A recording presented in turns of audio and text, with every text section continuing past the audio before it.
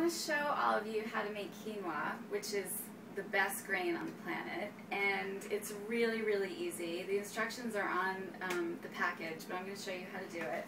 So basically for one serving, I like to make a lot at once actually, but um, just measure out about a cup of quinoa. I like to use the red kind, but you also can find um, the white version as well.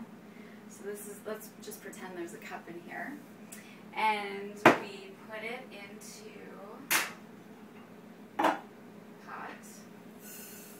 And then you just measure out about, I would say about a cup and a half of water. Um, that normally is plenty. Maybe two cups. And then you turn the stove on. See if it's going to work tonight. Yes. Okay. And you cover it. And you wait until it boils. And when it when it's boiling, you turn it down and simmer. Keep the cover on. And I normally take a little timer out and I just put it on for about 10 minutes. And once it hits 10 minutes, I check it, and normally all the water is absorbed and the quinoa is cooked. So again, it's how much quinoa to how much water? Uh, normally I do one cup of quinoa to about one and a half or two cups of water. And the quinoa has been cooking for about 10 minutes, and now I'm just uncovering the pot and stirring a little bit just to make sure that all the water um, is absorbed and but it's pretty much done. It's a lot of quinoa. So now that the quinoa is fully cooked, I am going to spice it up. I just wanted to, um, I want to remind everyone that it really depends on your stove and the pot that you're cooking in, how long you need to cook it, because obviously it varies. So anyway, I love using um, natural salts, so Himalayan or um, Celtic. How do you say Celtic? Mm-hmm. Sea salt is really, really amazing. I am choosing not to put any oils in. I'm just going to use the spices to give it that flavor, which is really nice. So I have some curry powder, paprika, cayenne, a little bit of cumin, and a little bit of cinnamon. So we're just going to throw it in. I normally don't really use any measurements at all. I just kind of wing it, which is fun. And my dear friend Jenny, who is a master chef and little genius in the kitchen. Oh, she, stop. Oh, no, I'm not going to stop. she, um, she kind of reminded me of these spices and just, you know, throwing them all together. It makes such an amazing little dish. I eat so much quinoa, I'm going to turn into a bowl of quinoa very soon.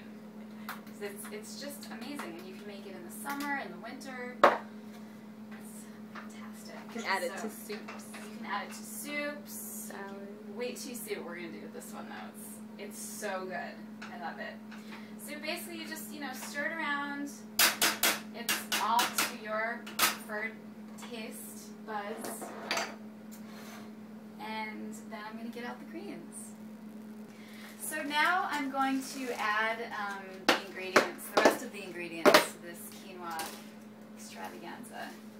And I bought some wild arugula, which I love. It's really peppery and delicious. And it's really, really, really simple. All you have to do is throw the arugula in. I cut a, um, actually I'm going to use a pretty knife for the camera. You just cut um, some lemon, throw it in. I usually add a little bit of more sea salt. You can use a little bit of high quality olive oil if you like.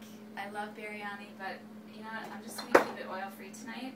And then you can add any one of the spices that you already used in um, the quinoa dish. And then I throw in some amazing, these are my favorite, favorite, favorite things on the planet, sunflower sprouts. So you just kind of, you can, this is not, you know, Martha Stewart over here, you just kind of tear them up, and then um, add the quinoa. That's it. It's simple, delicious, flavorful, and quinoa and um, these greens will just travel through the body so easily. It's really one of my favorite dishes, really. So I'm going to add a couple more sprouts on the top. And then just a little more lemon, a little more sea salt. Add a little bit of uh, curry powder. Just a little dusting. And even amongst the mess in the kitchen, look at how beautiful that is. Perfect.